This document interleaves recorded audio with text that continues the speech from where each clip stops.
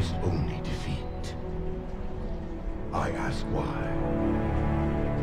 We are forerunners, guardians of all that exists. The roots of the galaxy have grown deep under our careful tenure.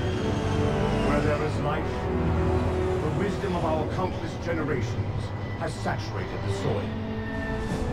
Our strength is a luminous sun towards which all intelligence blossoms, and the impervious shelter beneath which it has prospered.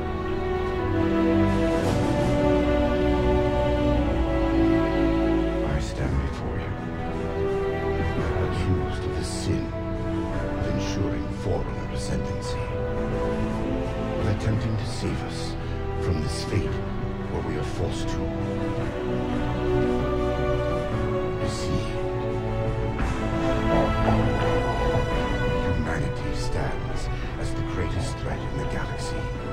Refusing to eradicate them is a fool's gambit. We squander eons in the darkness, while they seize our triumphs for their own. Of responsibility for all things belongs to Forerunners alone. Think my acts as you will.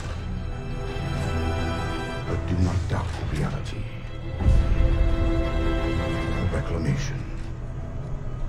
Already begun.